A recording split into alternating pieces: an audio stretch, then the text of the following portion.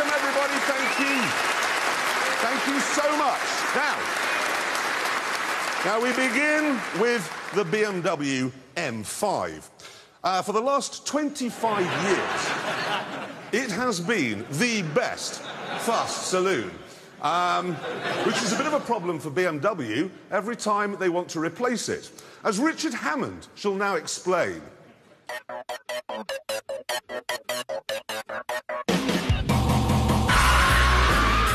This is the outgoing M5 in action, and straight away you can see the problem.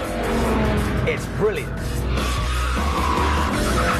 Big 500 horsepower V10 up front, naturally aspirated. It's just distilled essence of single malt driving pleasure. And that gives BMW a problem much like that faced by the makers of Die Hard 4 or of Cheryl Cole's 2011 calendar.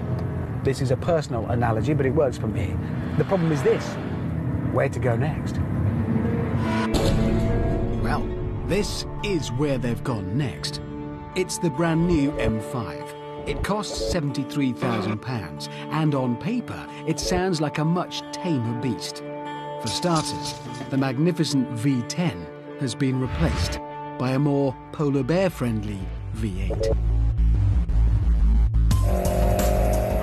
When you're driving along, you can certainly hear it. But then you would, because they've fitted it with a system that pipes a synthesized version of the exhaust note through the stereo.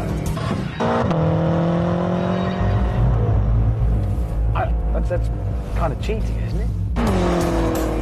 And thanks to additions like the seven-speed double-clutch gearbox, this new M5 now weighs 90 kilograms more than the old one. At first glance, then, it seems like the M5's rock and roll days are over.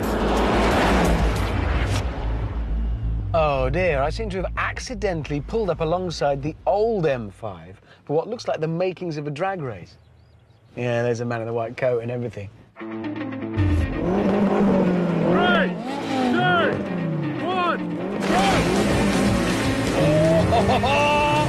That's some power. Yeah, you see, this is probably a good time to tell you more about that V8.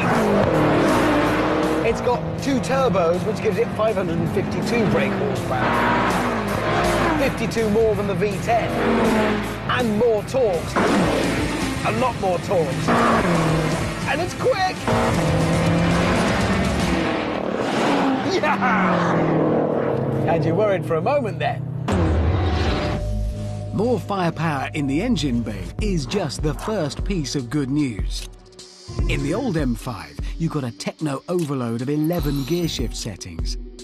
In the new one, it's a more sensible three.